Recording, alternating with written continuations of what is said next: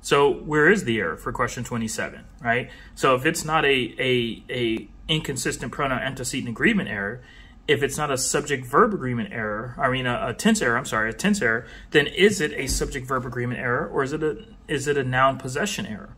Where is the error? Okay, Yvette, go ahead.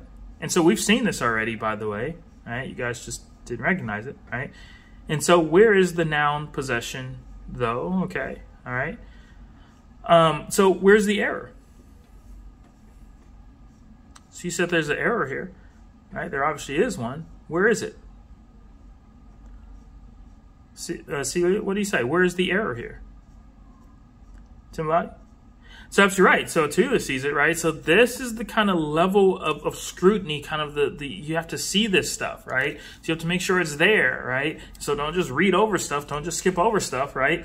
And so, um, so this year's science, um, uh, affair, we're not talking last year's. We're not talking next year's. We're not talking, um, you know, uh, previous year. We're talking this year. So this, the statewide science fair belongs to this year. And so therefore you have to show possession to indicate that it belongs to this year year.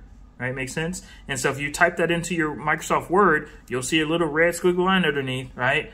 That's what they're talking about, right? And so, but they want you to identify that when it comes to the test, though. That is a noun possession error. That should show possession, and it doesn't, right? That's the kind of stuff I'm talking about on the test, okay? All right.